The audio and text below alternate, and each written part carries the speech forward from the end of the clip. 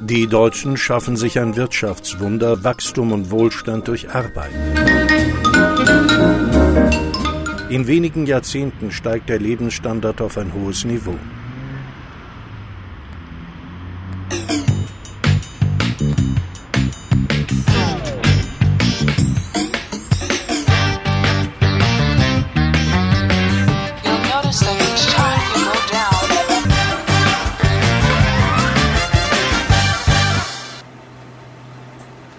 Menschen, die Lebensqualität schaffen, die mit ihrer Arbeit den Lebensstandard sichern, den wir uns leisten wollen. Ein Lebensstandard, den diese Arbeitskräfte sich kaum leisten können. Vorbereitung der Love Parade. Berlin die Erlebnisstadt. Events und Tourismus schaffen neue Arbeitsplätze.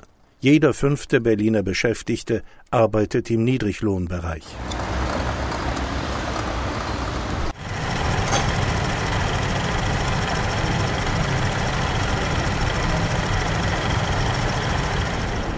Sie haben die erste Hürde geschafft.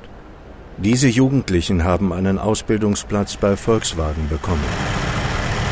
Die zukünftigen Industriemechaniker sind stolz, sie sind ehrgeizig und sie haben konkrete Vorstellungen von ihrer Karriere. Also ähm, ich will auf keinen Fall, dass es in meinem beruflichen Leben halt langweilig wird. Ich habe auch vor, mich weiterzubilden. Ich weiß halt nur noch nicht genau was. Ich strebe halt an Meister oder Techniker.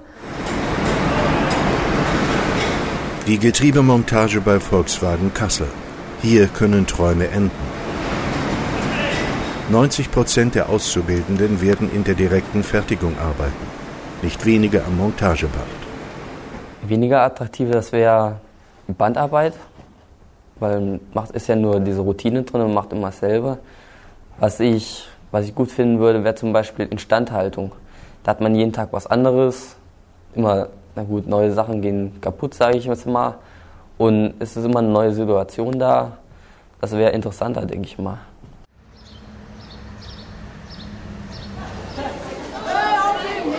Schüler und Schülerinnen einer Berliner Realschule. Viele der Zehntklässler haben sich für einen Ausbildungsplatz beworben, auch als Industriemechaniker.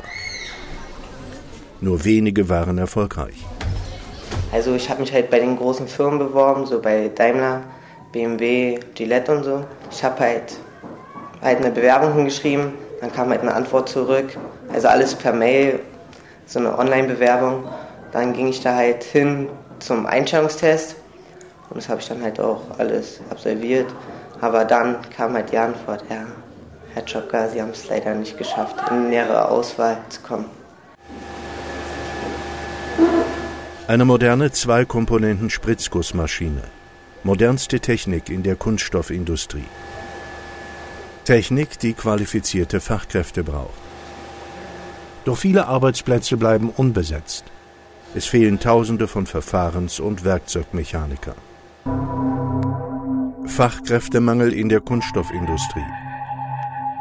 Qualifizierte Fachkräfte am Montageband. Jugendliche ohne Ausbildungsplätze.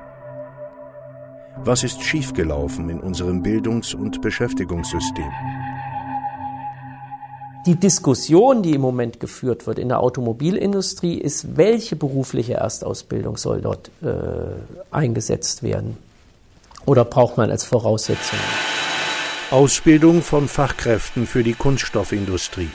Auf den ersten Blick sind kaum zu unterscheiden die zukünftigen Werkzeugmechaniker und die Anlagenführer in der zweijährigen Ausbildung. Da wir nun, wissen Sie, auch viel in den Unternehmen sind, ist uns das aufgefallen, dass sich praktisch die qualifizierten Facharbeiter teilweise um Tätigkeiten kümmern müssen, die auch jemand anders könnte, geringer qualifizierter. Passgenaue Qualifizierung für qualifizierte Routinearbeit für Montagearbeiter, die einfache manuelle Tätigkeiten ausführen und die gleichzeitig die Qualität prüfen und nach Kennziffern arbeiten.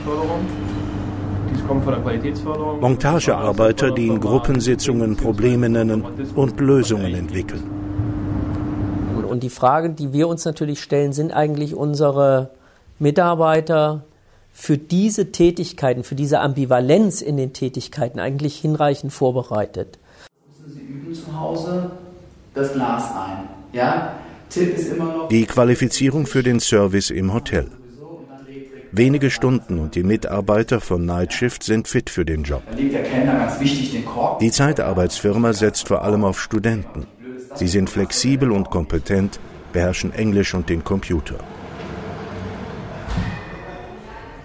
Ein Trend, der nicht aufzuhalten ist. Kompetenz ist gefragt in den einfachen Arbeiten.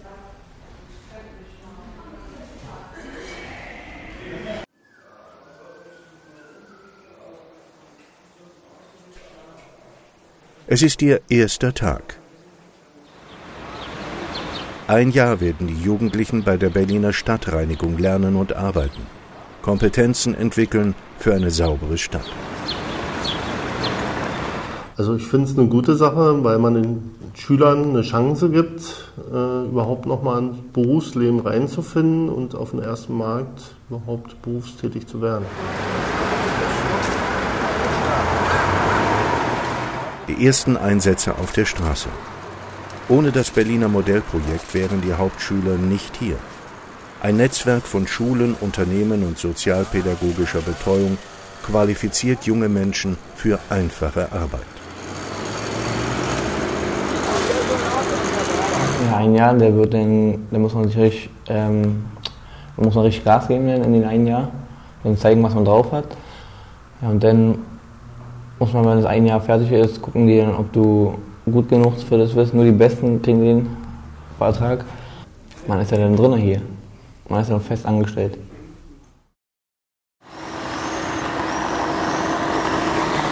Hinter diesen Bürofenstern arbeitet Dirk Johl an einem anderen Projekt, bringt Arbeitslose in die Saisonarbeit. 190 waren es für die Spargelernte. Ihr arbeitet jetzt von um 5 bis um 2? Heute bis um 2, gut, dann auf nächste. Gut. Ja das, ja, das ist jetzt blöd, aber wie gesagt, die paar Tage müssen wir jetzt immer beißen und überstehen und dann äh, Pflaumen wird dann, denke ich mal, besser. Die Mittelmark am Rande von Berlin. Hier hat die Mittelmärkische Arbeitsgemeinschaft ihren Sitz. Von hier geht die Initiative aus. Die Integration in Arbeit mit dem Projekt AgroTime. Also ähm, aus, äh, aus diesem Pool von ähm, 400 Leuten sind ähm, mit Stand der Dinge heute sind jetzt bis jetzt 192 Leute, also 50 Prozent ähm, in Arbeit vermittelt.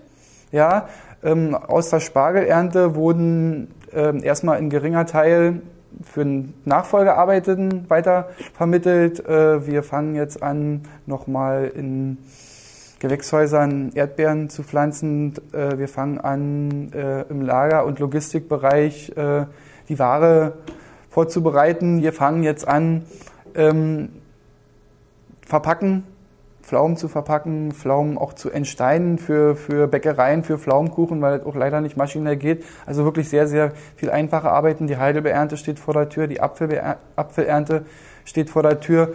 Und die Arbeitskräfte werden dann jeweils bei den einzelnen ähm, Unternehmen sozialversicherungspflichtig angestellt, was natürlich auch wieder ein sehr, sehr großer äh, Aufwand für die Unternehmen bedeutet, äh, wo ich aber oder wir auch in dem Projekt da sehr, sehr viel Hilfestellung leisten und versuchen, äh, die Unternehmen dort auch zu entlasten. Also als Dreiecksglied zwischen Arbeitgeber, Arbeitnehmer und äh, Arbeitsagentur, dass wir halt in der Mitte als Mittler arbeiten und dort äh, so viel wie möglich ähm, Arbeit diesen drei Parteien abnehmen.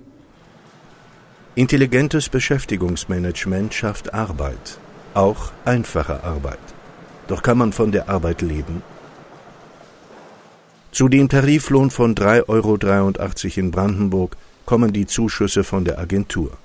Doch die Frage bleibt, was kommt nach der Saison?